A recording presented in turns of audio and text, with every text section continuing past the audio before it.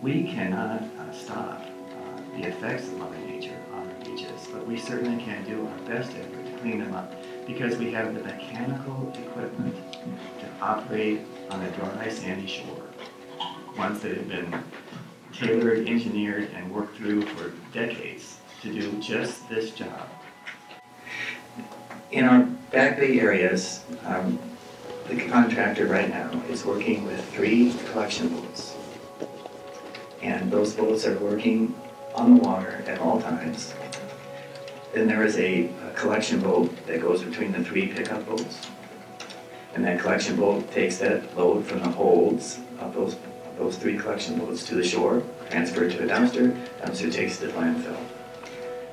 Some of our area of overflights, I mean, for those who haven't been there, there are rafts of floating fish, maybe 40, 50 feet wide, that persist for over a mile down bay, all the way to Ringling and back again.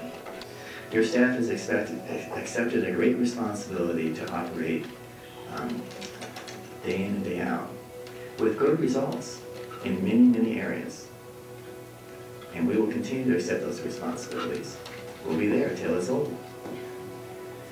And without preaching, and I think I am, apologize, but we're going to see the end of this episode, like we always do, for the for the decades and centuries behind us and the, and the decades coming forward, there will be an end to this episode.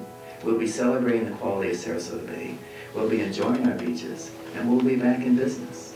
It will come to an end. And we simply have to pray that that end comes quickly.